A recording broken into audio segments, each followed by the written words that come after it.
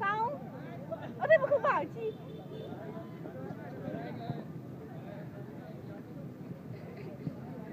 Anh Hoàng ơi cố lên. Đủ đủ tiền nước chưa? Mới có ba quả thôi. Ôi cậu ơi.